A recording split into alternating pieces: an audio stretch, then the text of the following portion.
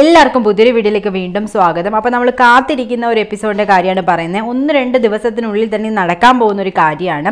അപ്പം അപ്പു എല്ലാ സത്യങ്ങളും തിരിച്ചറിയും. അപ്പച്ചിയുടെ കള്ളത്തരങ്ങളും എല്ലാം മനസ്സിലാവും. തമ്പിയായിട്ട് അപ്പച്ചി സംസാരിക്കുന്നത് തന്നെ കേട്ടിട്ടാണ് അപ്പു ഡയറക്റ്റായിട്ട് തന്നെയാണ് ഇതെല്ലാം തിരിച്ചറിയുന്നത്.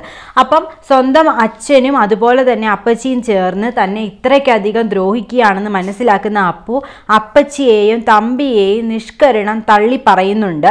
അതോടൊപ്പം തന്നെ എല്ലാവരോടും അതായത് നമ്മുടെ കുടുംബത്തിലെ എല്ലാവരോടും അതായത് ശിവനോടും അതുപോലെ തന്നെ അഞ്ജലിയോടും ഒക്കെ എല്ലാവരോടും ദേവേട്ടത്തോടും ബാലനോടും എല്ലാവരോടും മാപ്പ് പറയുന്ന ഒരു രംഗമാണ് നമുക്കിനി കാണാനായിട്ട് സാധിക്കുന്നത്. അത് അപ്പു കരഞ്ഞ് തന്നെ എല്ലാവരോടും മാപ്പ് പറയുകയാണ്. ശിവനോട് അച്ഛൻ ചെയ്ത ക്രൂരതകൾക്ക് എല്ലാത്തിനും കൂടെ ചേർത്ത് ഡാഡി ഇങ്ങനെയൊക്കെ ചെയ്യുമെന്ന് ഞാൻ വിചാരിച്ചതല്ല. ഡാഡി ഇത് ഇങ്ങനെ ഒരു ദുഷ്ചിന്തയോടെയാണ് ഇതെല്ലാം ചെയ്യുന്നതെന്ന് എനിക്ക് അറിഞ്ഞുകൂടായിരുന്നു എന്നൊക്കെ പറഞ്ഞ് നല്ല രീതിയിൽ തന്നെ മാപ്പ് പറയാണ് പിന്നെ അതുപോലെ അഞ്ജലിയോട് പറയാണ് നീ എന്നെ ഒരു കൂടപ്പറപ്പായിട്ടാണ് കണ്ടത്. പക്ഷെ നീ പറയുന്നതൊന്നും കേൾക്കാൻ ഞാൻ കൂട്ടാക്കിയില്ല. അപ്പച്ചി പറയുന്നതെല്ലാം ഞാൻ കണ്ണു അടച്ച് വിശ്വസിച്ചു. പക്ഷെ ഞാൻ ഒരു പ്രാവശ്യമെങ്കിലും നീ പറയുന്നത് കേൾക്കണമായിരുന്നു. അതിന് നീ എന്നോട് ക്ഷമിക്കണം എന്ന് പറഞ്ഞ് അഞ്ജലിയോടും മാപ്പ് പറയുന്നുണ്ട്. അങ്ങനെ കുടുംബത്തിലുള്ള എല്ലാവരോടും മാപ്പ് പറയുകയാണ് അപ്പു ചെയ്യുന്നത്. അങ്ങനെ വീണ്ടും സന്തോഷത്തിന്റെയും സമാധാനത്തിന്റെ ഒരു കുടുംബമായിട്ട് അത് മാറുന്നത് നമുക്ക് കാണാനായിട്ട് സാധിക്കുന്നതാണ്.